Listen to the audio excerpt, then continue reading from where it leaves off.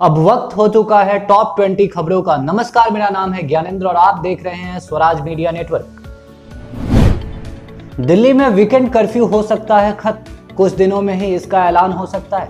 बता दें कि इस संदर्भ में सीएम केजरीवाल ने माननीय उपराज्यपाल के सामने एक प्रस्ताव भेजा था, जिसमें उन्होंने जो वीकेंड कर्फ्यू दिल्ली में लागू है और जो ऑड इवेंट तर्ज पे दुकानें खुली होती थी, उसको खत्म करने के लिए उन्होंने एक प्रस्ताव भेजा था। जिसे माननीय उपराज्यपाल ने अस्वीकृत कर दी थी। देश में कोरोना के लगातार मामले घट रहे हैं। बीते 24 घंटों में देश में कोरोना के लगभग तीन लाख पाँच हज़ार मामले सामने आए। वही मौतों की बात करें तो 435 मौतें भी दर्ज की गई हैं। वही राज्यों की बात करें तो कर्नाटक में सर्वाधिक मामले सामने आ रहे हैं। कर्नाटक में लगभग पचास हज़ार मामले सामने आए हैं। और इस समय देश में लगभग कुल एक्टिव केसेस की बात करें तो लगभग 22 लाख केसेस हैं।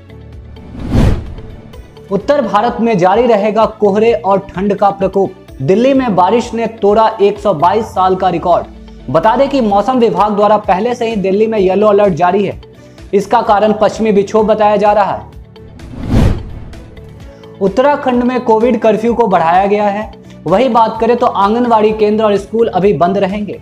बच्चों की ऑनलाइन क्लासेस जारी भी रहेंगी। वही राजनीतिक दलों के लिए भी गाइडलाइन जारी की गई है। सुप्रीम कोर्ट में आज 6000 एनजीओ के एफसीआरए लाइसेंस रद्द करने से जुड़ी याचिका पर हो सकती है सुनवाई। रिलायंस, टीसीएस और इन्फोसिस सहित देश की टॉप टेन कंपनियों पर भारी रहा पिछला सप्ताह। बताया यह जा रहा है कि इन कंपनियों का बाज़ार मूल्यांकन संयुक्त रूप से ढाई लाख करोड़ से ज़्यादा घट गया है। अनुष्का शर्मा की बेटी वामिका की तस्वीरें इंटरनेट पर हुई लीक। फैंस ने पहली झलक देखकर बताया मिनी विराट। गृह मंत्री अमित शाह बोले, नेताजी को वही मान्यता दी जा रही है जिसके लिए वो हकदार है। राष्ट्रपति ने भी कही है ये बात। बता दें कि अब गृह मंत्री अमित शाह ने नेताजी सुभाष चंद्र बोस की 125वीं जयंती पर उन्हें श्रद्धांजलि दी है और उनके अभिन्न योगदान के लिए उनकी सराहना भी की है। ओप्पो रेनो 7 सीरीज़ भारत में जल्द हो सकता है लॉन्च बताया यह भी जा रहा है कि यह 4 से 5 फरवरी के बीच लॉन्च किया जा सकता है। कैप्टन अमरिंदर सिंह का बड़ा बयान। उन्होंने कहा कि सिद्धू को पंजाब में मंत्री बनाने के लिए पाकिस्तान से हुई थी लॉन्बिंग लिव इन में रह रही गर्लफ्रेंड की हत्या कर बॉयफ्रेंड थाने पहुँचा और उसने यह भी बताया कि उसकी गर्लफ्रेंड शराब पीकर आए दिन उससे झगड़ा करती थी। प्रधानमंत्री नरेंद्र मोदी आज राष्ट्रीय बाल पुरस्कार विजेताओं से संवाद करेंगे। इस दौरान जो भी विजेता हैं, उन्हें डिजिटल प्रमाण पत्र भी दिया जाएगा। दिल्ली में आज 50 प्रतिशत क्षमता के साथ खोले जाएँगे निजी दफ्तर। वही कोविड नियमों का पालन करना अनिवार्य रहेगा। वेब सीरीज़ मिर्जापुर से फ़ेमस हुए बबलू भैया ने बोला, अगर उन्हें कैरियर में मौका मिलेगा तो वो महात्मा गांधी का किरदार निभाना चाहेंगे। विराट कोहली ने इंटरनेशनल क्रिकेट में एक सौ इक्यानवी बार 50 प्लस पारी खेली है। इसी के साथ उन्होंने महिला जयवर्धने की जो रिकॉर्ड थी, उसको उन्होंने तोड़ दिया है। पूर्व भारतीय कोच रवि शास्त्री ने कहा, विश्व कप जीतने के आधार पर कप्तान और कोच का आकलन करना बंद करें।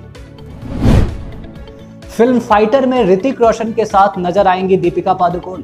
दीपिका पादुकोण ने कहा कि वह फ़िल्म फाइटर में ऋतिक रोशन के साथ काम करने के लिए काफ़ी उत्साहित है।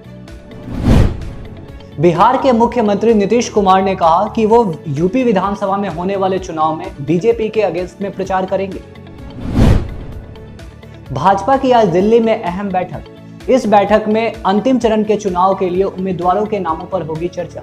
बता दें कि इसके, इससे पहले भाजपा ने पचासी उम्मीदवारों की अपनी तीसरी सूची जारी की थी। उद्धव ठाकरे का बड़ा बयान। उन्होंने कहा कि गठबंधन में उन्होंने भाजपा के साथ 25 साल बर्बाद किए हैं। उन्होंने यह भी बताया कि भाजपा ने अपनी राजनीति को लेकर के हिंदुत्व का इस्तेमाल किया है। इस वीडियो के संदर्भ में हमारे व्यूवर्स के क्या राय हैं, हमें कमेंट बॉक्स में ज़रूर बताएँ। वीडियो को ज़्यादा से ज़्यादा लाइक करें, शेयर करें और चैनल को सब्सक्राइब करना ना भूलें। साथ ही हमारे इंस्टा और फेसबुक पेज को भी फॉलो करें। अब अपने दर्शकों से लेते हैं अलविदा और कल मिलेंगे इसी वक्त टॉप ट्वेंटी खबरों के साथ।